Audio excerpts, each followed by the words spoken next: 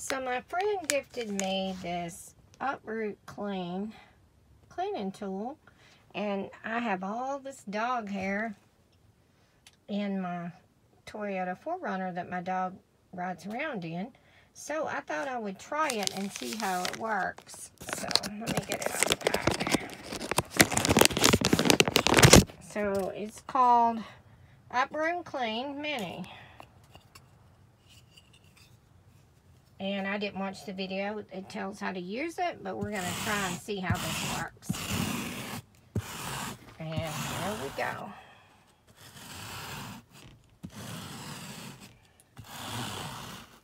That's amazing. See how it's made.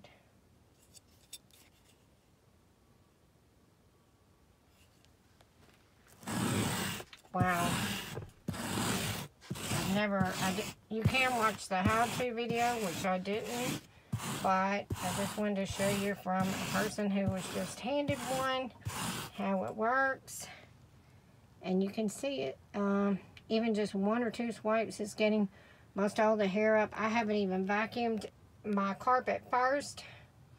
I just literally wanted to try it out and I would give it a A plus. Great job. If you have dog hair, get you one.